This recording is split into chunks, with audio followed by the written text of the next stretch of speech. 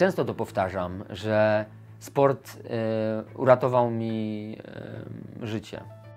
Bo zawsze, kiedy mam tylko y, gorszy czas, kiedy był w moim życiu czas, w którym uzależnienie próbowało brać górę, to ten sport był dla mnie taką idyllą po prostu, w którą mogłem się rzucić, y, czym mogłem się poświęcić i czym czułem się dobrze. A to jest y, paradoksalne. Ja na przykład w dzieciństwie, w podstawówce i w gimnazjum nie chodziłem na WF. Byłem zwolniony z tego WF-u, bo no niestety koledzy nie lubili mnie zbytnio na tym WF-ie. Byłem wra bardziej wrażliwy. Myślę, że, że, że, że rozumiecie o co mi chodzi. I teraz, kiedy mam te 33 lata, trenuję od 17-18 roku życia mniej więcej zacząłem sobie trenować.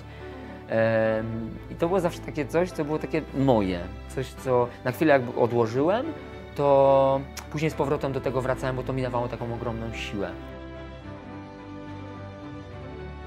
Nie wyczyścimy głowy, jeżeli nie będziemy dbać o swoje ciało.